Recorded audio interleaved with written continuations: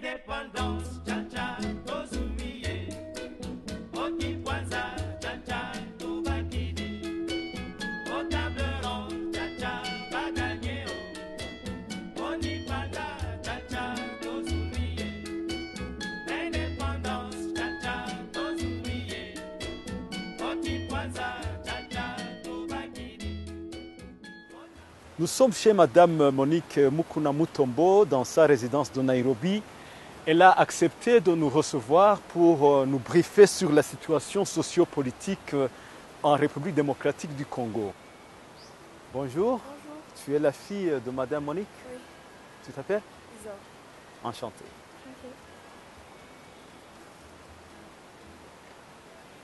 Bonjour Madame, Bonjour, monsieur Dorana. Ça va Je vais bien, merci. Oui. Vous avez rencontré ma fille Zora Oui, oui, oui, Ah, oui, oui, d'accord. oui. D'accord. Je viens d'apprendre que vous venez d'un long voyage. Voilà. Et- Oui, merci de nous accueillir euh, dans votre résidence. euh, Mais tout le plaisir est pour moi. hein. Je suis très contente de vous recevoir chez moi. C'est bon comme ça, on va pouvoir avoir des informations sur ce qui se passe au Congo et surtout euh, Je vous en hein. cette période où on s'achemine vers des élections présidentielles. Ah, j'espère qu'il y aura ces élections-là finalement.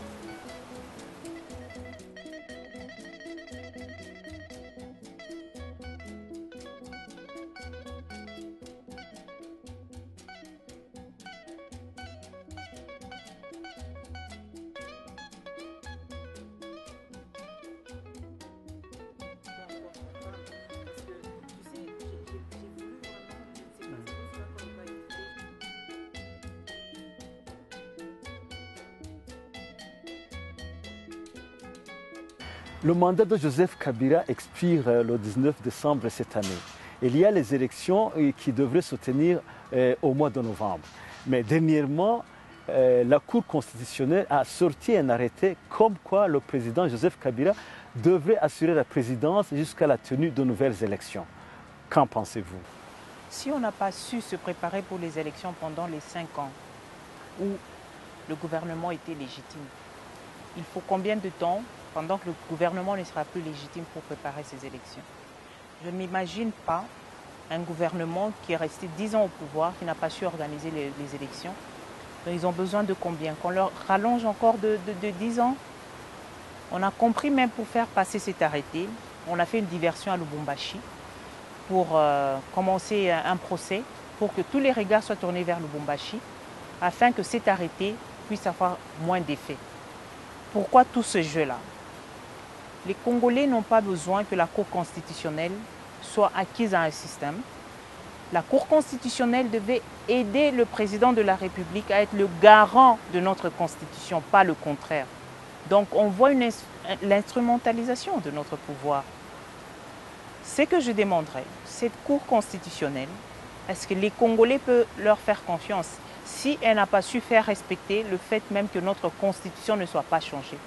Comment veux-tu qu'on puisse croire en cette histoire de rallonge de pouvoir? Donc la diversion qu'on a fait à Lubumbashi, donc on- je vais vous en parler d'ailleurs, donc on a vu un procès, un procès que le gouvernement a intenté contre l'ancien gouverneur du Katanga pour dire qu'il a atteint à la haute sécurité de l'État. Et moi, je prends ça comme s'il y avait deux options. Je ne vais pas trop m'étaler là-dessus, je vais laisser aux Congolais de décider de ce que, qui doit en sortir. C'est-à-dire, les deux options pour moi, c'est de demander si la première option, le gouvernement a trouvé, a jugé bon qu'il y avait suffisamment, suffisamment de preuves pour dire que on pouvait intenter un procès contre euh, le gouverneur de la- l'ancien gouverneur de la province du Katanga. Pourquoi il y a des opposants politiques qui croupissent en prison? Pour moins que cela et d'autres ont le droit d'aller se faire soigner à l'extérieur. Donc pour moi, la première option, c'est que soit notre gouvernement a permis juste cette diversion et ils sont en train de jouer un jeu pour qu'ils fassent une publicité gratuite à un potentiel candidat aux élections présidentielles. Et en retour, lui, il fait une diversion pour que le peuple congolais ne puisse pas voir ce qui se passe à la Cour constitutionnelle, mais que tous les regards soient tournés vers le Katanga. La deuxième option, c'est que c'est vrai que ce procès était réel Et notre gouvernement a laissé partir quelqu'un qui était un danger pour la stabilité de notre République. Si c'est le cas, ça devrait être que notre justice n'est pas, n'est pas au point et ça va faire encore un point de plus pour que ce gouvernement ne puisse plus être en place parce qu'il n'a pas su préserver la sécurité de la République démocratique du Congo. Donc je laisse au peuple congolais, je leur laisse l'occasion de juger parmi les deux options, si c'est une diversion ou si notre justice a été faible. Donc cet arrêté de la Cour constitutionnelle n'engage que la Cour constitutionnelle pour moi. La Cour constitutionnelle qui ne peut pas travailler pour la République mais pour un système.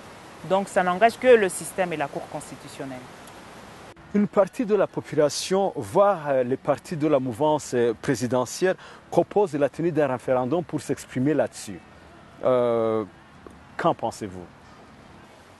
Comment peut-on faire confiance à un gouvernement qui n'a pas su organiser les élections présidentielles pour organiser un référendum? Je vais vous dire pour moi ce que je suggérerais comme référendum. Le référendum doit se baser parce que notre pays s'appelle la République démocratique du Congo. Ça serait bien de faire un référendum pour savoir si on doit garder république ou pas, démocratique.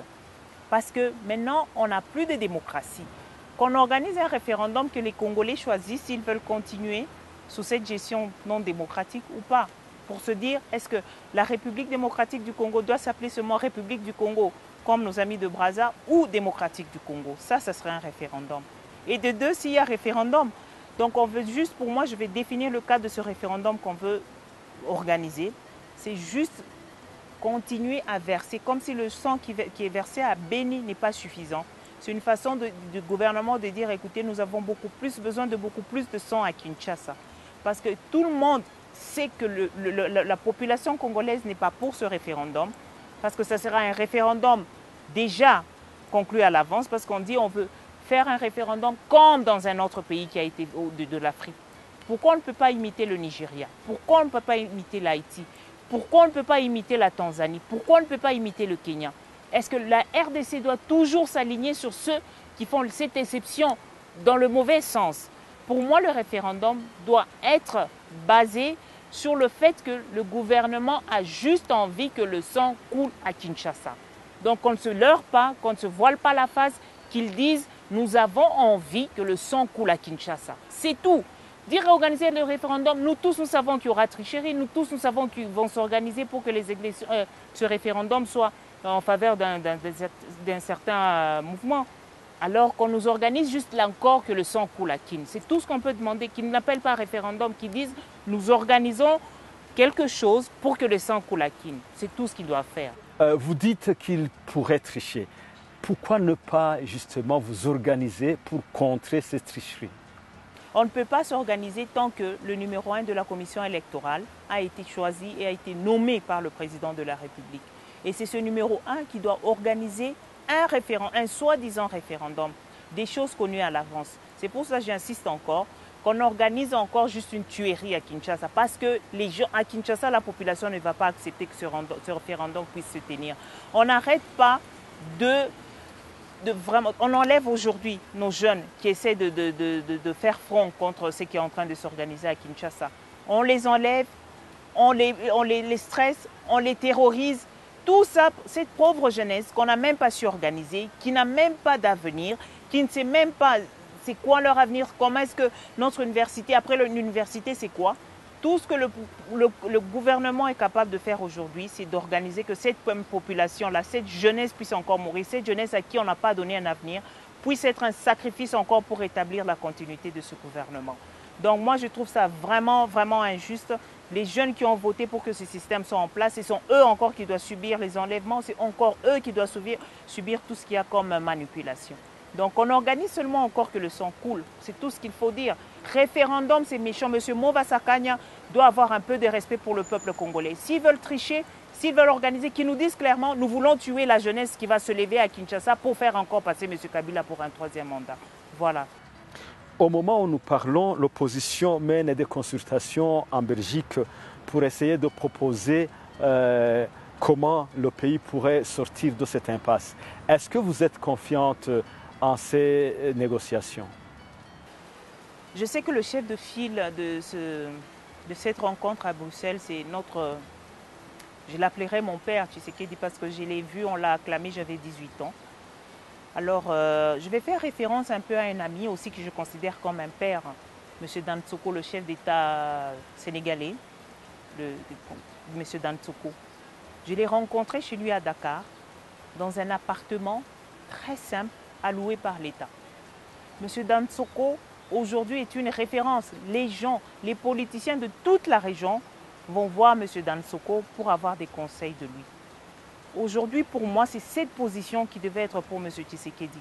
Sinon, on va se retrouver, je ne le souhaite pas, mais il a un certain âge. Qu'est-ce qu'il va laisser comme héritage au peuple congolais? Nous n'avons pas besoin que ce soit seulement notre génération qui se souvienne de ce qu'il a essayé de faire sous Mobutu, mais aujourd'hui, parce que la rencontre de Bruxelles, on dit, mais qui a financé cette rencontre? Pour quel agenda caché? Parce que si on doit se retrouver, chaque fois les gens doivent se retirer quelque part, on ne connaît pas l'agenda caché. Je respecte beaucoup M. Tshisekedi, c'est pour cela que je le place au même niveau que M. Dansoko du Sénégal, qu'il essaye de faire en sorte que son nom puisse rester. Parce que sinon, on va se retrouver avec des opposants à vie qui étaient là avec Mobutu, qui, qui ont été là avec Mosé Kabila, qui ont été là avec Joseph et qui se préparent à être encore des opposants parce qu'ils ont pris de mauvaises décisions, de placer quelqu'un qu'il ne fallait pas au pouvoir pour les préparer à être encore opposants d'un autre régime. Donc M. Tshisekedi, que je considère et que je respecte beaucoup pour tout ce qu'il a fait pour la République, qu'il essaie maintenant de penser à cette génération qu'il est en train de laisser. Leur temps est là, était là, mais maintenant qu'il prépare, il, a, il s'est battu contre la dictature. Il ne faut pas non plus qu'il soit un dictateur. Il a été très bon, il a fait vraiment de grandes choses dans notre pays, mais qu'il se mette à une position de sage, qu'on puisse le consulter parce que nous, les jeunes, on n'a pas su s'en sortir. On fait référence à lui. Donc on ne veut pas qu'il puisse y avoir d'agenda caché, on ne veut pas des opposants à vie, on veut des sages, on a besoin de sages qui puissent garantir un système qui puisse continuer sur un long terme en RDC. Voilà, l'issue de ce dialogue, libre à eux, moi je ne suis pas une opposante, je ne sais pas ce qu'ils ont décidé, mais je veux juste donner à M. Tshisekedi qui nous donne une opportunité à nous, les autres qui, qui marchons sur son chemin, de tracer un meilleur chemin pour nous, pour qu'on puisse le suivre. Vous avez opté faire cavalier seul. Euh, vous n'a- vous n'adhérez à aucun parti politique. Euh, vous vous distancez de la mouvance présidentielle. Vous vous distancez de l'opposition. Est-ce une stratégie? Ce n'est pas une stratégie, hein, je reste ce que je suis. hein. C'est-à-dire, euh, c'est comme je venais de vous parler là. Je peux m'opposer sur des idées, mais je ne peux pas faire de toute ma vie une opposition. C'est trop d'énergie et trop de perte de temps. Aujourd'hui, euh, on a besoin de voir un Congo qui se tient debout, un Congo qui peut être compétitif face aux autres pays sur tous les plans. C'est pour cela que je vais mentionner euh, euh, notre sénateur Florentin Mukunda, qui a donné l'analyse vraiment appropriée, sans subjectivité, sur la situation en RDC. Il y a M. Kinkiev Moulumba qui a parlé, qui a dit qu'il ne voyait pas d'alternative. Moi, je veux vraiment insister, saluer cet homme d'État qui s'est tenu debout pour faire une comparaison de deux pays, la Côte d'Ivoire et la RDC.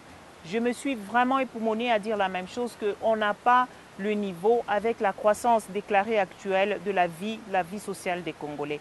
Je l'apprécie et j'acclame pour moi, si Dieu me permet d'atteindre la magistrature suprême, j'ai envie de travailler avec ce genre de personnes. Parce que aujourd'hui, se dire dans l'opposition, il faut seulement qu'on parle des résultats escomptés. Quels sont les résultats attendus? On ne peut pas faire une opposition pour s'attendre à avoir une place dans un gouvernement quelconque. L'opposition doit se faire sur des idées. L'opposition doit être concrète. Par exemple, aujourd'hui, monsieur Lumumba, Patrice Emery Lumumba, il est mort. Il nous a laissé quelque chose, il nous a laissé un héritage. Mais aujourd'hui, l'opposition, c'est pour laisser quoi à la postérité? Qu'est-ce qu'on va laisser à nos enfants? J'insiste toujours qu'on ne fasse pas les choses selon nous-mêmes, mais qu'on pense à la postérité. Qu'est-ce qu'on va leur laisser? Donc, M. Bokonda, bravo, j'ai vraiment lu, j'ai suivi avec intérêt votre intervention au Sénat. Alors, j'ai dit que je suis vraiment de cœur avec ce que vous faites et c'est pour cela, ça m'encourage encore de ne pas être une opposante, mais de suivre un chemin des gens qui peuvent euh, réfléchir, des, ces leaders intellectuels qui n'ont pas vendu leur intégrité pour de l'argent. Donc, euh, en bref, je dirais, je ne suis pas de l'opposition, on se rejoint sur certains points, mais sur d'autres points, moi, je ne vais vraiment pas m'inscrire sur une opposition à vie parce que j'ai envie que les choses réellement changent dans mon pays. Voilà. Supposons que vous soyez élue présidente de la République démocratique du Congo. Quel est votre agenda pour que euh, le petit paysan euh, des coins les plus reculés du pays, euh, ce pays qui est euh, le deuxième euh, plus vaste euh, en Afrique, puisse ressentir euh, le renouveau? Cette question est primordiale parce que il ne faut pas qu'on parle, il ne faut pas de beaux discours, il faut des choses bien concrètes. J'ai parlé dans mon projet de société d'une bonne gouvernance, par exemple. Parce que la bonne gouvernance, euh, gouvernance c'est la conscience même d'être un dirigeant. J'ai dit qu'on n'acclame pas un chef quand un peuple a faim. C'est une honte qu'un qu'un chef se fasse acclamer par un, un peuple qui a faim. Pour moi, tout ça, je suis en train de voir comment quelqu'un qui est le plus éloigné peut profiter de la bonne gouvernance qu'un gouvernement peut mettre en place. Donc, je, suis en train de m'engager. Je suis en train de voir ce qui se fait dans mon pays, de voir comment, qu'est-ce qui n'a pas marché depuis qu'on a eu l'indépendance, qu'est-ce qu'on peut mettre en valeur, qu'est-ce qu'on peut avancer pour que le Congo se retrouve compétitif sur le plan international en termes de, de, la promotion de tout ce qu'il y a comme secteur privé, de comment faire pour faire la promotion du secteur euh, euh, ag- agraire pour amener encore beaucoup plus d'investisseurs. Donc pour moi, cette chose-là ne peut pas se faire sans qu'une personne qui est à Nyunzu, une personne qui est au Bas-Congo puisse contribuer. C'est vraiment une action commune avec tout le monde. Tout le monde doit participer. Par exemple, pour la fin de la corruption, c'est tout le Congolais, partout où il se trouve, qui doit contribuer à ce que le pays puisse enfin se tenir debout. Donc euh, la bonne gouvernance, pour moi, c'est la première des choses avant qu'on pense à quoi que ce soit. On doit gouverner par l'exemple. Et c'est ce que je prône dans mon projet de société. Je vous remercie, madame. C'est moi qui vous remercie, hein, monsieur Laurent. Merci beaucoup. Indépendance,